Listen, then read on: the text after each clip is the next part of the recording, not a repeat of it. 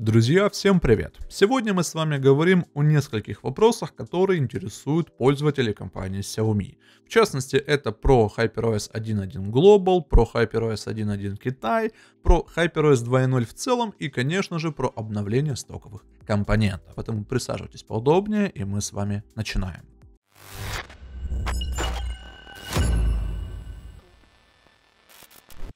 Что же, первое, о чем я хотел бы вам рассказать, это HyperOS 1.1.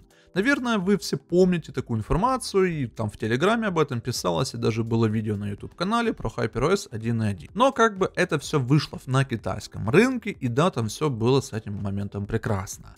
Что же касается глобального рынка, то тут есть некоторые моменты. Лишь только на два аппарата разработчики решили выпустить эту прошивку. Это Xiaomi 14 и Xiaomi 13T Pro. Если же на последней прошивка даже вышла и многие поставили и остались довольны тем, что увидели, то на Xiaomi 14 получился небольшой такой скам. Вот даже на своем примере могу вам рассказать следующее, что я являюсь бета-тестером, все необходимые разрешения есть, и как бы та в обновлении системы мне пишет, что доступно обновление, но оно пустое. И это все у меня получается на международном индексе. Если рассматриваем европейский индекс, то там с этим моментом все куда будет повеселее. Конечно, хотелось бы вам установить эту прошивку, показать что и как по сравнению с китайской версией, но увы и ах, это пока что скорее всего не получится. Также мы еще думали портировать эту прошивку на Poco F6, но там также есть определенные проблемы. Опять же, если все это дело получится устранить, то я думаю, что и видеоролик не заставит себя ждать. Касательно теперь HyperOS 1.1 для Китая. Там, конечно, с этим вопросом все куда поинтереснее поприятнее. На канале есть отдельный видеоролик касательно данного вопроса, там я все рассказал, показал, и если как бы в целом подвести итог того, что я поиспользовал и попробовал на своем примере, то хочу сказать следующее, что действительно HyperOS 1.1 является переходным вариантом к HyperOS 2.0, который уже в скором времени будет показано, но об этом чуть попозже. И в целом HyperOS 1.1 больше направлена, конечно же, на то, чтобы устранять те проблемы, которые не были сразу исправлены в первой версии HyperOS iOS. И лишь только спустя год разработчики нам это все дают попробовать и вообще в принципе переосмыслить саму HyperOS. На китайском рынке, понятное дело, больше фишек, больше возможностей, больше оптимизации и тому подобного, но опять же, мы все с вами ждем глобальную версию прошивки, и я надеюсь, что уже в скором времени многие пользователи смартфонов Xiaomi, Redmi и Poco смогут ее попробовать.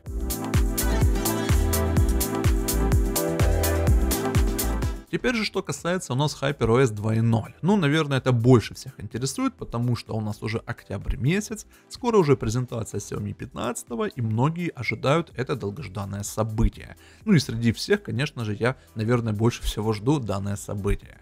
Вообще, как заявляется разработчиками, что скорее всего, и опять же это в формате слухов, что HyperOS выйдет на некоторые аппараты 23 или 24 октября. А что касается глобальной прошивки, то она выйдет где-то в ноябре-декабре. Если смотреть на прошлый год, то в принципе где-то плюс-минус так оно и есть. Касательно фишек, которые вот добавляются в HyperOS 2.0 на сегодняшний день, это все возможные там оптимизации, понятное дело, улучшения, а также небольшие фишки. В частности, мне понравилось, что за последнее время всплыла информация о том, что разработчики хотят добавить расширенную информацию о нашей батарее. Это имеется в виду, сколько циклов было пройдено нашей батареей и какое в принципе состояние нашего аккумулятора. Да, как бы кто-то может сказать, что данной информации верить нельзя, вот есть там другие программы, но я больше сторонник того, что если разработчики дают нам какой-то стоковый функционал, то этим нужно пользоваться. И если говорить про еще одну интересную фишку из HyperOS 2.0, то это Storage Sandbox. Это значит у нас будет такая резервация хранилища для сторонних приложений, и чтобы они не смогли залезать в память других приложений. То есть у них условно такой буфер создается, и они в формате этого буфера будут именно функционировать. И в принципе это все, конечно, у нас будет направлено на конфиденциальность наших данных. И последнее у нас на сегодня это стоковые приложения. Если вы за последнее время пропустили всю эту когорту обновления там, системной оболочки, безопасности, часов и прочего, то я вам рекомендую обратить свое внимание на эти обновления. В частности, они были вытянуты из HyperOS 1.1 глобальной версии. Что касается системной оболочки, сразу говорю, там есть небольшая проблема, которая касается свайпа назад, допустим в Google Chrome или в каких-нибудь приложениях. Да, об этом мы знаем, и да, как бы мы устранить эту ошибку никоим образом не можем. Потому что бытует такое мнение, что данная версия не совсем там совместима с HyperOS 1.0.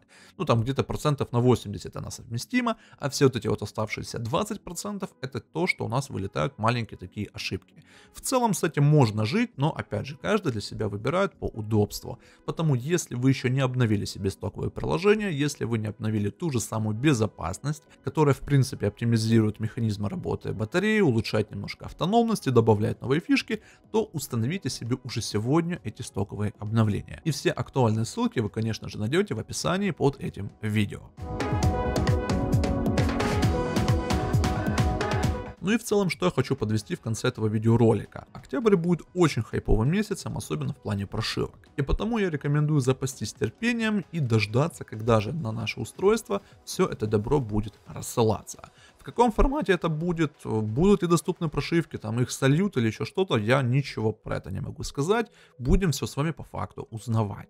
Ну а чтобы всегда первыми быть в курсе актуальной свежей информации, не забудьте подписаться на YouTube, поставить колокольчик на мой и, конечно же, подписывайтесь на наш телеграм-канал. Все ссылки будут в описании. Но если о чем-то забыл упомянуть или остались вопросы, смело пишите об этом в комментариях, там мы с вами и пообщаемся. Ну а на этом у меня на сегодня все. Спасибо за внимание и до новых встреч. Thank you